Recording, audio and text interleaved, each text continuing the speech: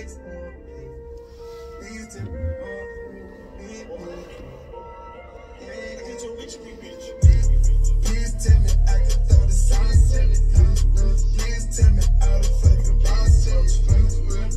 tell me I can throw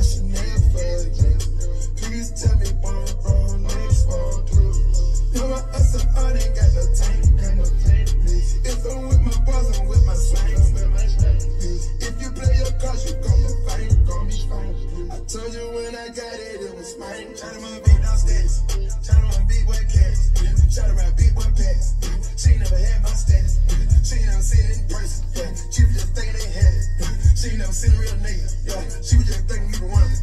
Put you on a whole lot of game. Put you on a whole lot of. Put it on a big range. Put it on a big.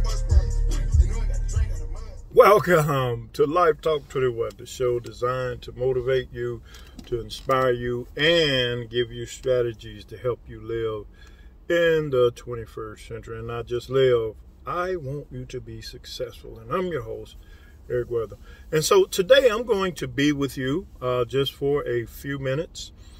Um, I was compelled uh, to do a second part of compassionless Christianity because of a debate uh, that I had uh, with someone that is very versed in the scriptures. And they reminded me that uh, when we're talking about the parable in Matthew 5 and 42 about uh, Jesus explaining to the lawyer when he asked, What does it take for me to be a part of this movement?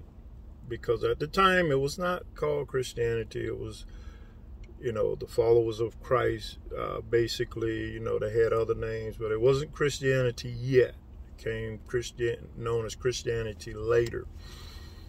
But uh, Jesus was explaining to him that basically what you do is you do these two things that sum up all the law: love God, all your heart, your mind, your strength, love your neighbor as yourself.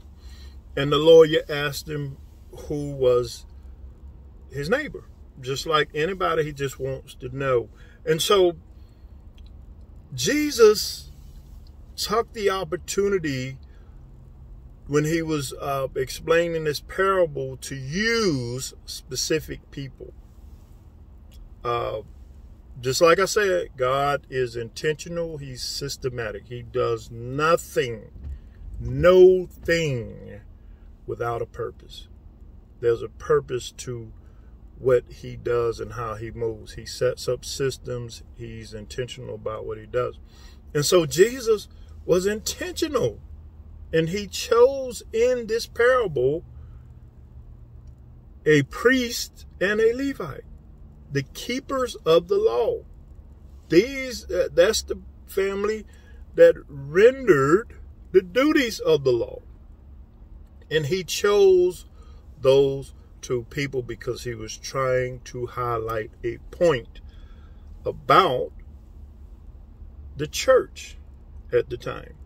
At the time. So he talks about this priest and this Levite, keepers of the law, that saw this man bleeding, hurt, left for dead, and how they ignored him by walking on the other side and passing right by, didn't render any help. Now, when I was talking to him, he reminded me, but you know they did the right thing, right? And I say, according to the law, they did. I understand where you're coming from. And that's what I want you to know. They did right according to the laws and traditions of that time. Touching people that had blood would make them unclean, specifically because they had the duties to minister uh, the law. They had to take care of the law when when uh, people uh, came to the priest uh, for forgiveness, and he performed the rituals for forgiveness and all of those things. So they were right by not touching the guy.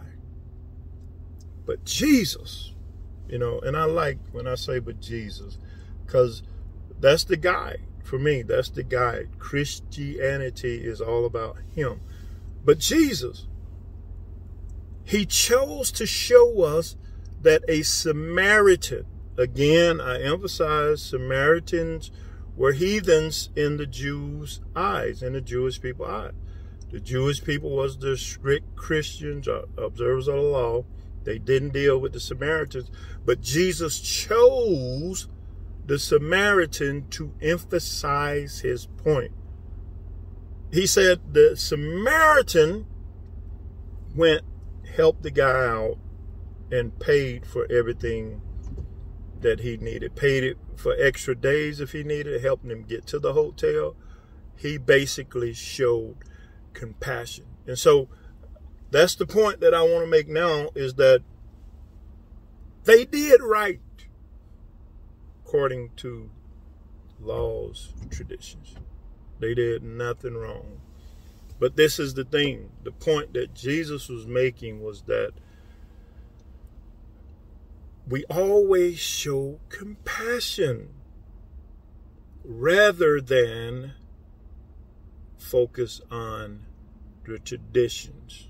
If, if we have an opportunity to show compassion like this man, he's dying, he's hurt, we always show compassion.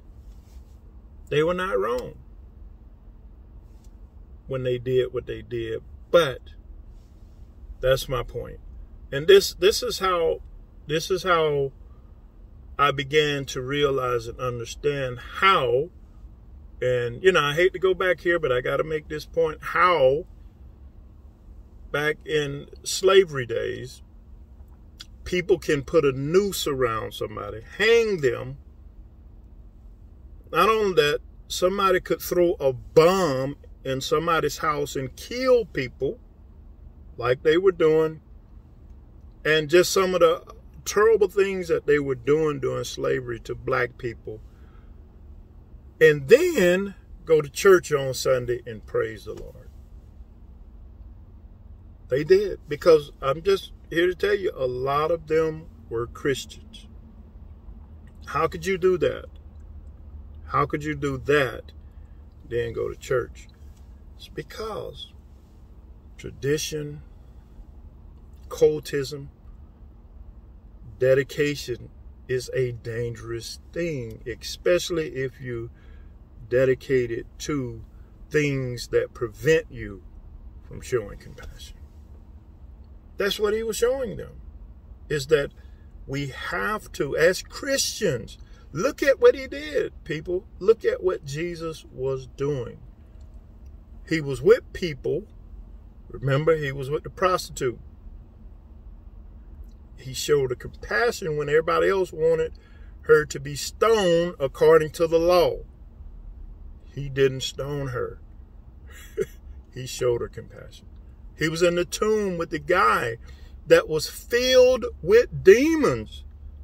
You can't get no more heathen than feeling, being filled with demons. Jesus was in the tomb with him showing him compassion. He healed people on the Sabbath day, which was against the law, against their tradition. But he was healing. Come on, people, you have to understand that the reason that the Jews wanted the Romans to take care of Jesus is because he was showing compassion rather than focusing on keeping the law. Okay? Compassionless Christianity Part 2 is what this is. And I wanted to make sure that I hit that point because the priests and the Levite were doing the right thing according to the law. But Jesus said, Jesus, Jesus, Jesus said, Jesus said that it was the Samaritan that was the one that was being neighborly. So, tells us that whenever we get a chance to show compassion, it must be the priority because that's what he prioritized showing compassion to people. Show me where I'm wrong. he did again that one time. He turned over those money changers table because they was doing stuff in the church. And he was like, no, we're not, you know, y'all can do that stuff elsewhere, but not in the church. But it was one time, people. But to the most part, he wanted us to show compassion for people. And I just wanted to get that out there because, again, I had that debate. And it was, you know, when we debate, man, it wasn't like it was a heated debate or anything like that because I don't do those kind kinds of debates. But it was just a debate between him and I understood where he was coming from. I did. And he was right. They were following the law, following their traditions. But Jesus said that the Samaritan, the guy that took the time to go help, was the one that was being a neighbor. And that's what he wants us to do. And that's what we've forgotten about in the church. We don't show compassion to people. And we got to get back to that.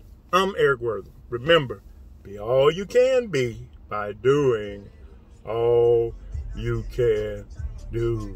Thank you.